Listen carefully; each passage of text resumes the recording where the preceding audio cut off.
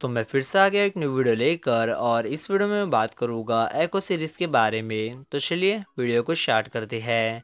तो रिसेंटली हमारे सामने आया है एको सीरीज़ का एक न्यू लुक जैसे कि आप लोग स्क्रीन पे देख रहे हो। यहाँ पर हमें दिखाई दे रही है माया लोपेस, जो कि बैठी है बाइक पर।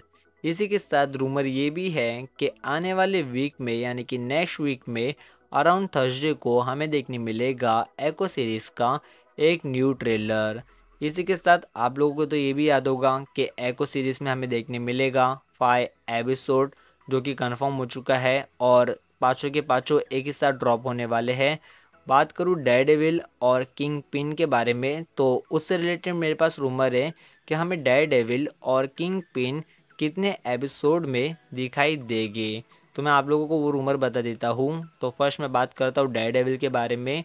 तो डेविल हमें दिखाई देगा तीन एपिसोड्स में, पाँच एपिसोड हो गए तो उसमें से तीन एपिसोड में हमें दिखाई देगा डेविल बात करूँ किंग पिन की तो किंग पिन का रेट हाई है, यानी कि हमें किंग पिन पाँच में से चार एपिसोड्स में दिखाई देगा। तो ये गुड न्यूज़ है आप लोगों के लिए।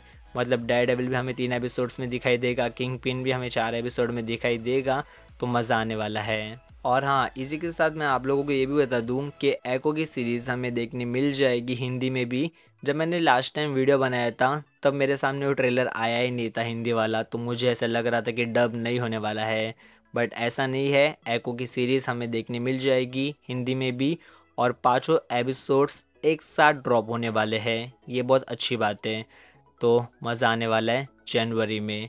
तो उम्मीद है कि आप लोगों की वीडियो अच्छी लगी होगी। तो इस वीडियो को लाइक करो और कोई न्यू बंदा या बंदी वो चैनल को शेयर एंड सब्सक्राइब करो। तो मैं मिलता हूँ वैसे किसी नेक्स्ट वीडियो में। टिल देन चैनल को शेयर करो।